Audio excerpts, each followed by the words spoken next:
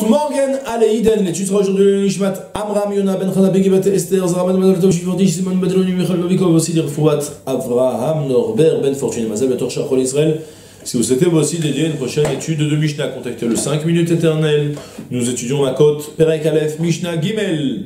Meidin anu beishproni shu chayav malkut arbaim ונמצאו זוממים לוקין שמונים משום לא תענה ברעך עד שקר, משום ועשיתם לו כאשר זמם, דברי רבי מאיר. והחכמים אומרים, אין לנו לוקין אלא ארבעים. משלשין בממון ואין משלשין במכות. כיצד? העידוהו שהוא חייב לחברו 200 זוז. ונמצאו זוממין, משלשין ביניהם. אבל אם העידוהו שהוא חייב מלכות ארבעים ונמצאו זוממין, כל אחד ואחד לוקה ארבעים. Deux sujets dans notre Mishnah. Premier sujet, directement lié à la Mishnah précédente. On lit, on traduit, on explique. Meidin anu chayav malkut arbaim. Nous témoignons contre tel homme qu'il est passible de malkut arbaim, de flagellation, d'être frappé au beddin les 39 coups, les 40, 40, 39, on apprendra plus tard que les 40 sont en réalité 39 coups.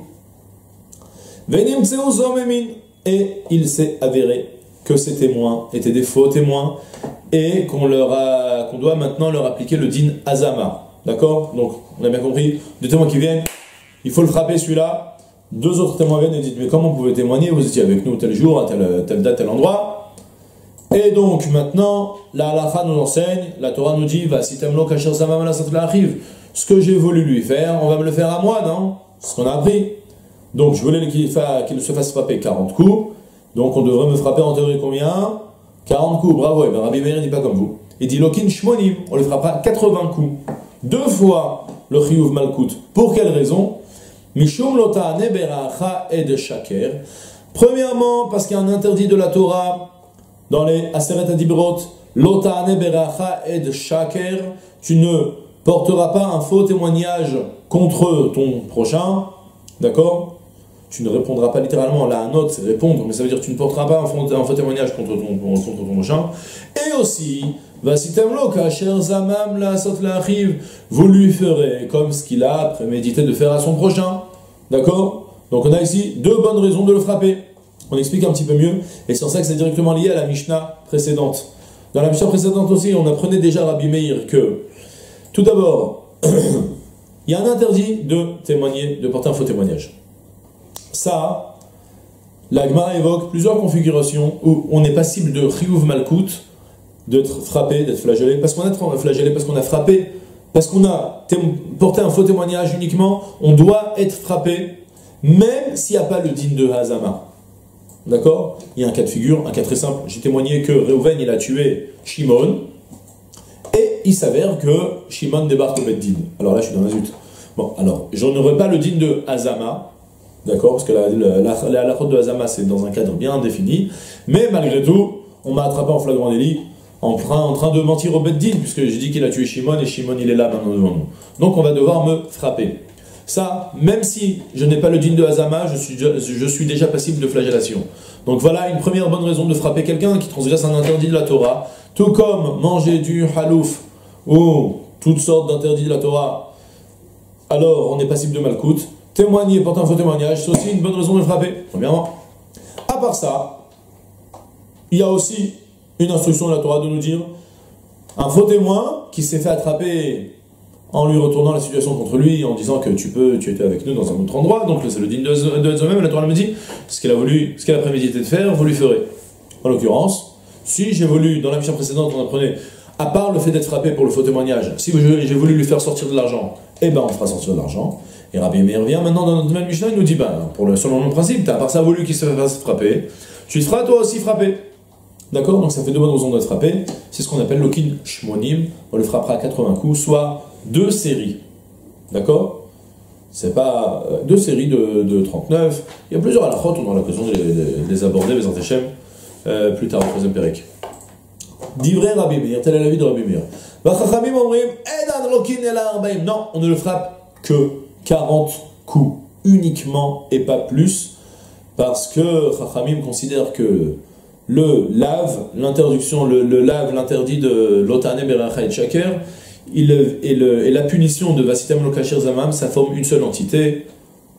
D'accord? Ça forme une seule entité, c'est fréquent que la Torah, elle donne un interdit et elle explicite la punition. Et de ce fait, il n'y a pas ici deux éléments, il y a un seul élément. D'accord Ou il y en a qui expliquent à cause de Kederi Chateau, comme c'était dans la Mishnah précédente, on ne va pas trop ranger sur la question. Deuxième sujet de la Mishnah. Meshalshin bemamon ve'en meshalshin bemakot. On partage, divise l'argent en trois, ça vient de shalosh, en deux ou en trois selon la nécessité.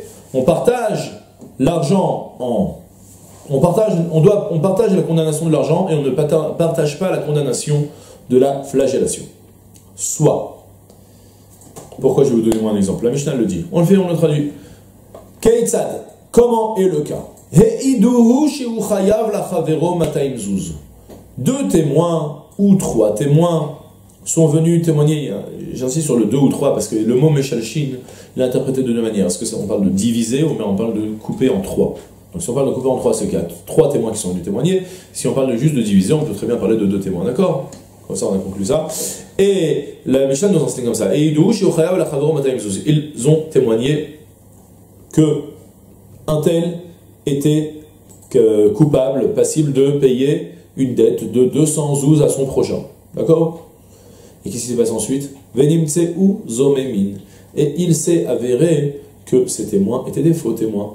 Soit nous témoignons que Réhouven a déchiré la chemise de Shimon euh, tel hier, mardi, à 8h du matin, à tel endroit à Jérusalem, et quelqu'un va me dire, mais qu'est-ce que vous racontez? Mardi à 8h, vous étiez avec nous à Paris. Donc vous n'étiez pas là, je suis devenu Edzomem. Maintenant, moi et mon copain, les deux témoins, on était deux témoins, ouais, toujours les témoins c'est avec deux. Donc moi et mon ami, il s'est qu'on est devenu des Edzomem, on doit nous payer la chemise à la place Reuven. On est venu témoigner contre Reuven qui doit payer 200, 200 shekels. Alors maintenant, nous, on va devoir payer ces 200 shekels. La question de la Mishnah est de savoir est-ce que moi je dois payer 200 shekels et mon copain 200 shekels ou bien est-ce qu'ensemble on va payer les 200 shekels? Et la Mishnah nous enseigne il s'avère qu'ils sont zomemin, mais shalshin benen, ils se partageront la dette de payer les 200 shekels. Soit nous sommes venus pour faire perdre Reuven à Reuven 200 shekels, et ben en compensation, alors Réhouven va devoir sortir de cette histoire avec 200 shekels dans la main, ce qu'il aura gagné. Ce qu'on est venu lui faire perdre, on nous le fera. D'accord? On ne dira pas que chacun de nous doit payer les 200 shekels. Ça, c'est pour l'argent. Par contre, Avalim malkut. Par contre, si on est venu témoigner ensemble que Réhouven est passible de chayav, de malkut, il doit être flagellé au bet din, recevoir les 39 coups, Supposons par exemple qu'on était trois même, comme ça, ça fait un chiffre plus rond, comme ça le Tessot explique. D'accord On était trois, témoins, on est venu témoigner contre Reuven. Ah, et on s'est fait maintenant pincer en train de mentir. On est devenu des Edim Zomémin, donc on doit être frappé à sa place. Est-ce qu'on va recevoir chacun 39 coups? Ou est-ce qu'on va partager les 39 en 13, 13, 13 hein? Et bien la mission nous enseigne. Par contre, donc s'ils ont témoigné contre lui qu'il est passible de flagellation, ils se sont avérés des faux témoins. Chacun des témoins doit être frappé 40 coups, 39.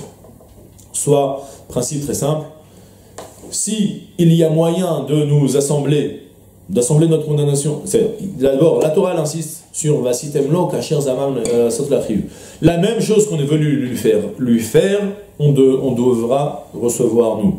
Soit il devait perdre de l'argent, donc on doit perdre nous l'argent. Mais lorsqu'on parle de dépenser de l'argent, alors on ne s'intéresse pas sur le fait qu'il va avoir un trou dans la poche. C'est pas une punition, c'est plutôt sur le manque.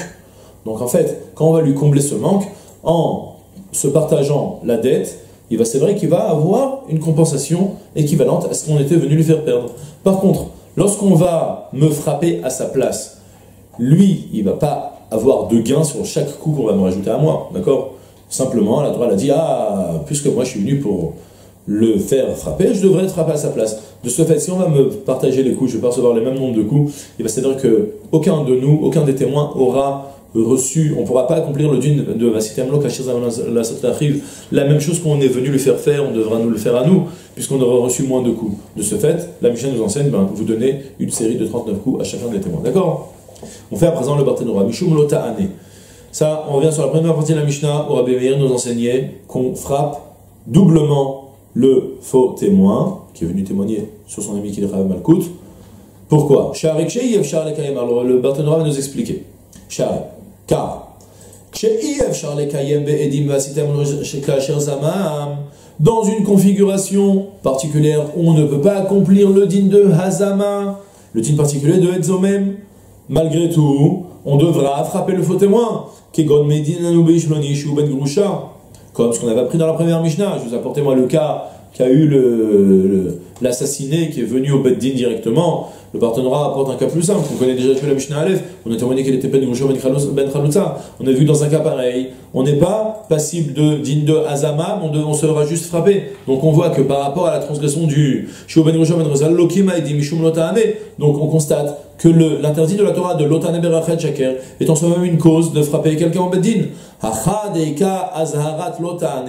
Ici en l'occurrence, où il y aura deux bonnes raisons de le frapper. Il y a tout d'abord l'interdit de la Torah de l'otane Tu ne porteras pas un faute de ménage. Et il a en plus de ça l'interdit de kacher zamam. La même chose qu'on est venu le faire, on nous l'accomplira, on nous le fera sur nous. Alors, l'aucune chouani, on après 80, 20 la la n'est pas établie comme Rabbi sur ce, sur ce point-là. Deuxième sujet de la Mishnah, on se partage l'argent, Meshalshin bemamon, Edim zomemin shechayavin betashlumin, Meshalshin mamon, Meshalmin amamon, les filles mispar Edim. Des faux témoins qui seront à présent condamnés de euh, compenser, d'indemniser l'accusé en payant à sa place. Ils pourront mais Amamon, les Misparadim, ils pourront se partager l'argent selon le nombre des témoins. Imayush, Losha, Edim, s'ils étaient trois témoins, le partenaire explique le mot Meshalshin, de trois, on divise en trois. S'ils étaient trois témoins, pardon, Veuzmukol Echad, et que les trois ont été, euh, ont été prouvés que c'était des faux témoins, alors, Meshalem, Chacun d'eux devra payer le tiers de l'argent qu'il était venu lui faire perdre. Par contre, on ne se divisera pas les 39 coups. On ne dira pas que chacun des témoins se fera uniquement le tiers des 39 coups, donc chacun 13.